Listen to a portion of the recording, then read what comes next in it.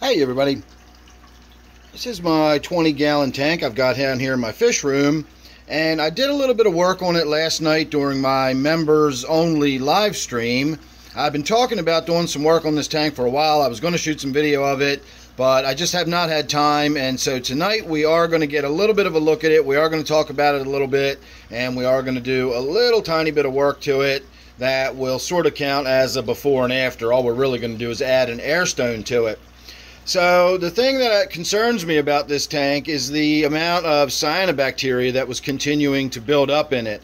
Uh, again, I got in there last night and I did a big gravel vac. I got a lot of the cyanobacteria out of there, but you can see I've still got sort of dark green sheets of it growing on some of the fern in there, and you can see those mats on the back where I wasn't really able to uh, effectively get in there and do much of a gravel vac. So in the back you can see there's Still some pretty dark sheets of cyanobacteria. There's some right behind that rock right there. And so I'm not going to do a treatment. We're not going to get in there with the ChemiClean or anything like that. I have a theory that the air stones alone are enough to keep these tanks from getting cyanobacteria developing in them. I used to have a huge problem with cyanobacteria in my discus tank here, and there were a few other tanks around the room. Uh, my 55 here used to have cyanobacteria in it really badly. It still does a little bit, but there's reasons for that. Uh, and then my Gourami tank here used to have cyanobacteria in it really bad. And I've gotten on top of that recently. And again, it's the addition of this air stone in every single one of these tanks. One by one, I've gone around the room and I've added air stones to all of the tanks that I was having issues with and every one of those has cleared up and I was no longer having issues. So this is the last tank that I'm still having struggles with the cyanobacteria. And even though I do have a small power head in the back down there that is circulating the water, it's not an air stone. It's just not the same as having an air stone in the tank. So let me get on that. I do have a little air pump in the other room. And we're going to throw an air stone in there and then just have a quick few follow-up thoughts once we get it in there.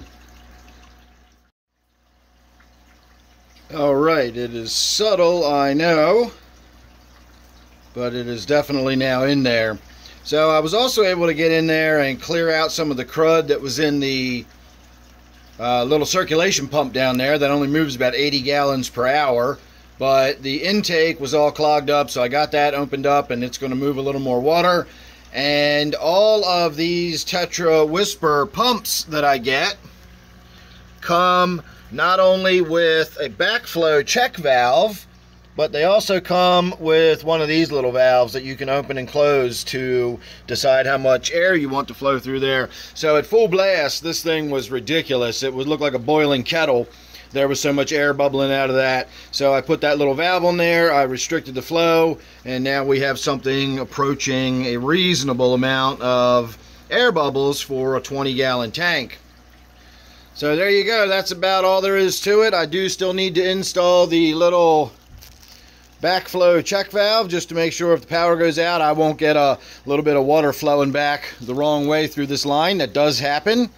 And so those little one-way check valves are always a good idea to install if you have one. And again, these Tetra Whisper filters, or I'm sorry, these Tetra Whisper air pumps all come with both the little valve down here and the check valve that goes up near the water surface.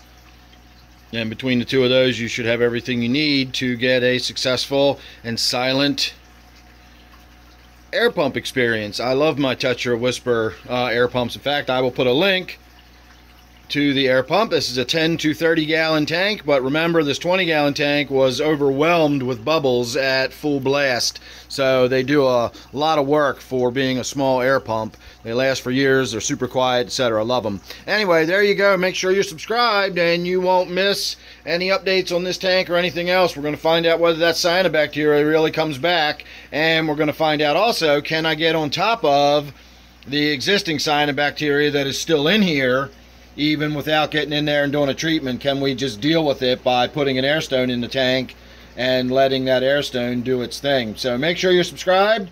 and you won't miss any updates on that or anything else I've got going on. And don't forget, I do a live stream every Friday night and Sunday night at 8 p.m. Eastern Time. So thanks for watching. See you real soon in the next one.